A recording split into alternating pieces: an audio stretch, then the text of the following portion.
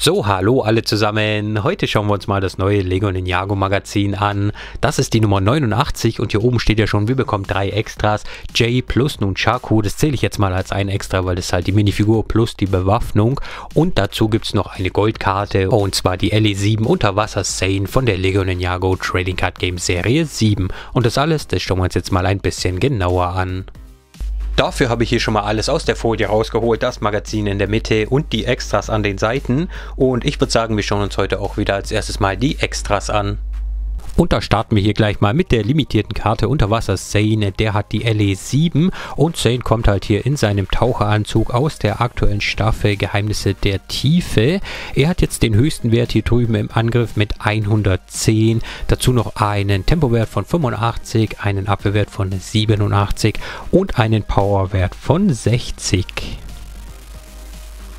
Und als zweites Extra haben wir hier ja dann noch die Minifigur von Jay mit seinen Nunchakus. Und ich hole mal hier alles aus der Tüte raus, baue die Figur zusammen und dann schauen wir uns die auch mal ein bisschen genauer an.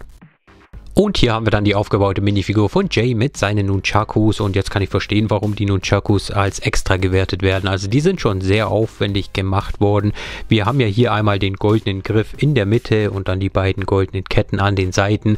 Die Enden, das sind dann hier so goldene Wurfsterne. Also es ist auf jeden Fall ja, eine schöne Variante von Jays Nunchakus, die wir so vorher auch noch nicht hatten. Und als weiteres Zubehör hat Jay noch ein Katana hier in der Katana-Halterung auf dem Rücken in gelb, also passend zu dem Bandana hier oben oder auch zu seinem Arm. Das Katana steckt dann hier in der Katana-Halterung, das halt ein zusätzliches Teil ist, das zwischen Kopf und Torso steckt und das auch gleichzeitig hier mit dem Schulterschutz verbunden ist. Das äh, Zubehör werde ich jetzt aber mal kurz abnehmen. Dann können wir uns den Anzug von Jay mal ein bisschen genauer anschauen. Also er trägt hier halt den neuesten Ninja-Anzug aus dem Januar 2022. Also von diesen Kurzfilmen, von diesen Core-Kurzfilmen. Und äh, der Anzug ist natürlich hauptsächlich in blau gehalten mit dieser Zweitfarbe eben dieses Gelb, das dann auch schon bei dem Katana eben war. Und hier hat man eben das Bandana und auch den Arm nochmal in diesem Gelb, genauso wie den Gürtel hier. Aber auch noch so ein paar Details hier auf dem Torso. Hier drüben hat man wieder dieses Viereck. Da ist ja immer ein Zeichen drin und in diesem Fall heißt dieses Zeichen dann ein J, also der Anfangsbuchstabe dann von J und dann schauen wir uns die Figur auch nochmal von allen Seiten an. Hier sieht man halt nochmal die Maske mit dem langen Bandana und so sieht die Figur mal von hinten aus. Ich nehme mal kurz die Maske ab. Dann sieht man hier nämlich zum einen mal die Rückenbedruckung ein bisschen genauer. Auch hier ist dann wieder dieser weiße Kreis drauf. Da steht dann Ninja drauf. Und zum anderen sieht man dann halt noch, dass Jay auch noch ein zweites Gesicht hat. Und wenn wir uns die Figur nochmal kurz von vorne anschauen, dann sieht man das erste Gesicht auch nochmal ohne die Maske. Okay, und dann blättern wir jetzt noch zusammen ein bisschen durch das Magazin durch. Hier auf der ersten Seite hat man dann wieder das Inhaltsverzeichnis, das kennt man ja schon aus den Ninjago Magazin.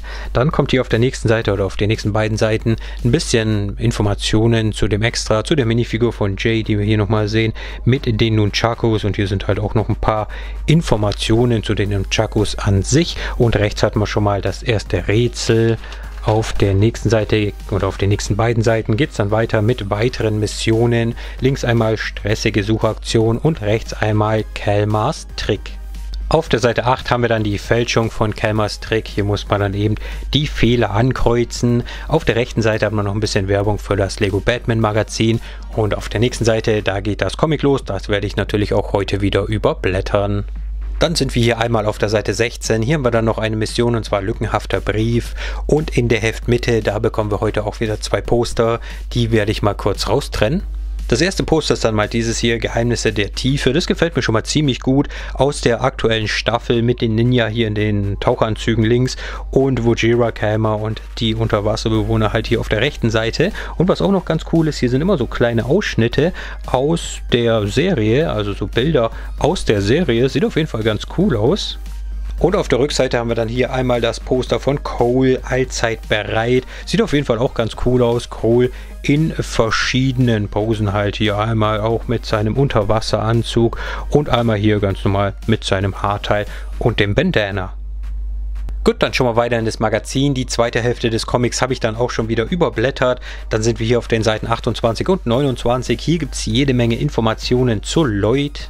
Auf den Seiten 30 und 31 gibt es dann Facts und zwar Staffelschurken im Check.